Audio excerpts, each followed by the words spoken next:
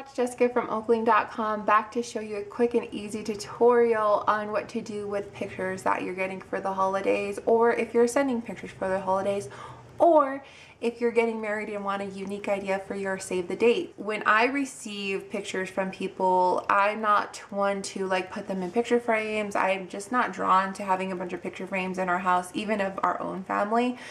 But I found that I do like having the pictures up on the refrigerator. And what I don't like is having a ton of random magnets holding up these pictures, which block the picture or they just look cluttered. So this is a good way to create such a slim profile on your refrigerator and it still will display your favorite pictures. I use this concept for our save the dates. So I just on the computer created a save the date that had our information on there and then I put it on this magnetic sheet. I mailed them out and then people just put them on the refrigerator. And that was great because they didn't lose it and it was always there. And I actually know some family members that still have it on their refrigerator. So you can use any shape and size you want.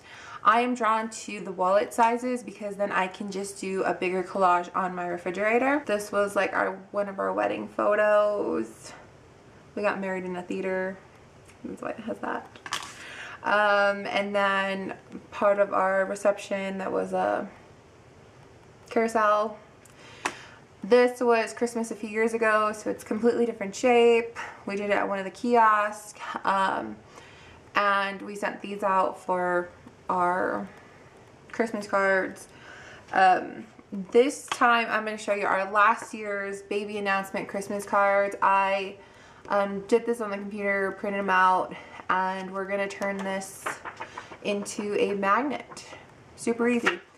All right, if you hear any random sounds, it is my five month old making some noise. We'll just have to go with it.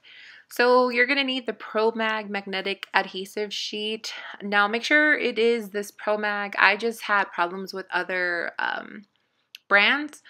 There was a 8 by 11 flat sheet that is actually thicker than this one that just wouldn't stay on my refrigerator. So I do recommend this one if you can find it.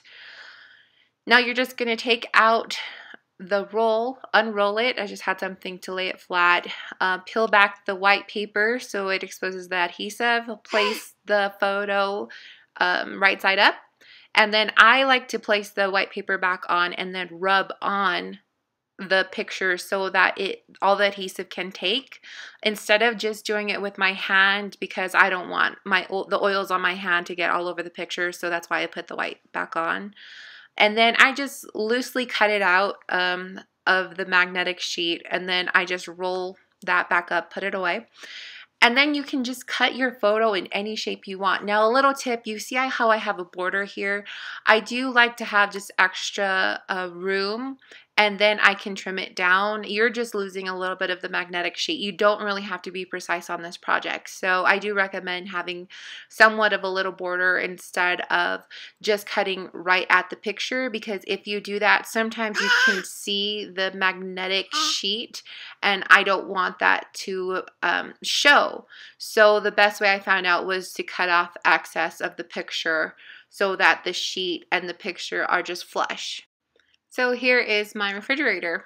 Uh, I probably need to clean it, but we're going to let that slide. You can see you can make any collage, any order you would like, and it is a very slim profile. You don't have a bunch of bulky magnets sticking around. That bullet right there is from Super Mario. I made one of those melting beads for my godson, and we just stuck some random uh, leftover magnetic sheet on it.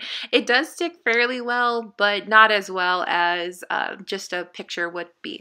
So you can just re remove your photos, move them around as often as you like. That was it. Super easy tutorial for Christmas or any time of the year, really. If you liked it, please like it. If you want to comment, please comment. Don't forget to subscribe and share. God bless, Merry Christmas, Happy New Year, and stay safe.